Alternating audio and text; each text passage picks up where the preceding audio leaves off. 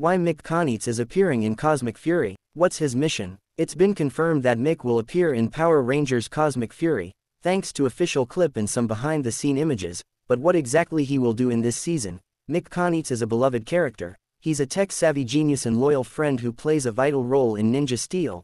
Mick was the Rangers' go-to guy for gadgetry and problem-solving, but what's his deal in Power Rangers Season 30? Sahei Comicians, throughout the series, Mick embarks on a remarkable journey of personal growth, dedication to his friends and the cause of protecting the world from evil forces makes him a great character. His story continued in Power Rangers Dino Fury, where he helped Rangers with the database, although Mick always remind fans that heroes come in all forms.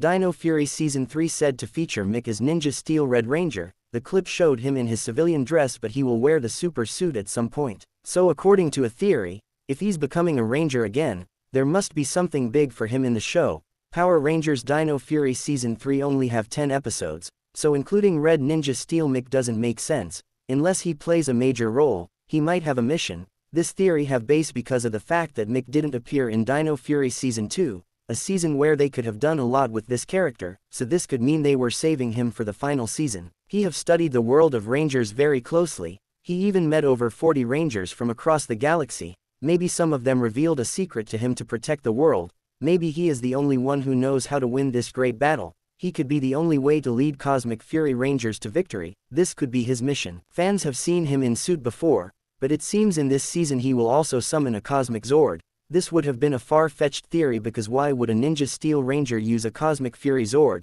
The answer lies in this image, where it clears that any form of Ranger can summon Cosmic Fury Zords, it would be great if this happens, as the actor Kelson Henderson is just iconic, and he have given a lot to this franchise. But all these are theories until Cosmic Fury releases on September 29th. We didn't get any clean images yet, so here are my fan-made Cosmic Fury arts which I will use as the thumbnail for this video. Are you excited for Power Rangers 2023? Let me know in the comments. So that's a wrap, make sure to hit the like and share button and smash the subscribe button. I will see you guys in the next video till then remember one thing, you are the Comicians.